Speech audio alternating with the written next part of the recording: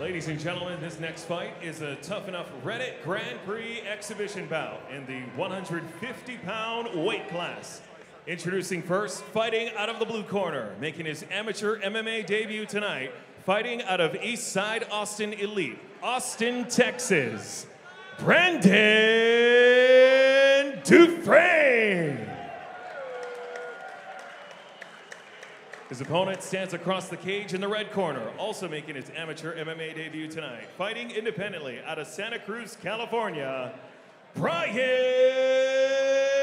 Randall.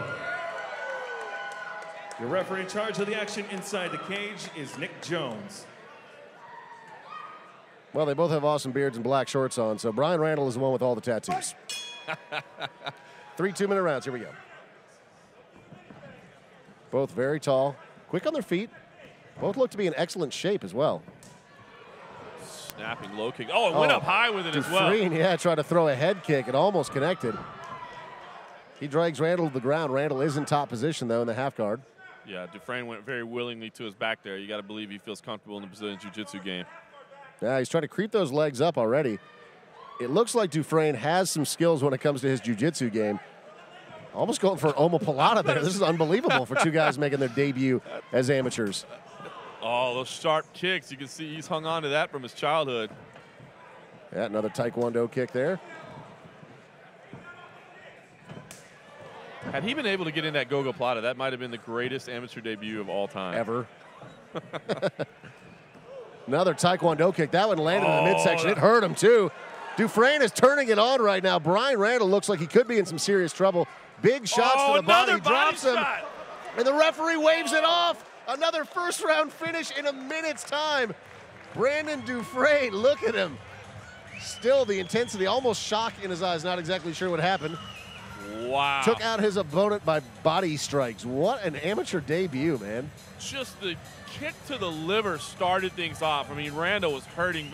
And then Dufrene, I, I love seeing this for guys making their amateur debut. You know, sometimes you think about people headhunting, going out there thinking, oh, I just, you know, I got to hit him on the chin and knock him out. Sometimes it's so much easier to throw those shots to the body and you can really debilitate somebody, as we saw there. Fantastic work from Brandon Dufrene.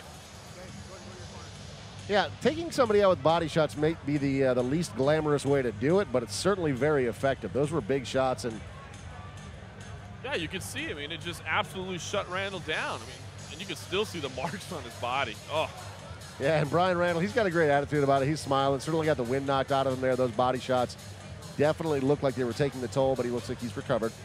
Back to 100% right now. So congratulations again, Brandon Dufrene. Even after the match was over, he was standing here uh, right in front of our broadcast table and throwing some of those very crisp-looking Taekwondo kicks. Looks like he trained at a pretty high level.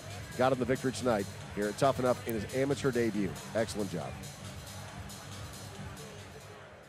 Ladies and gentlemen, after one minute, five seconds into the first round, your winner by TKO, Brandon Go live to Janet Dufrene. Metro recently. The Reddit Grand Prix is awesome. One of my favorite things in the entire world. It rolls on next here at the Orleans in Las Vegas. The lightweights at 155 pounds. Coming up next.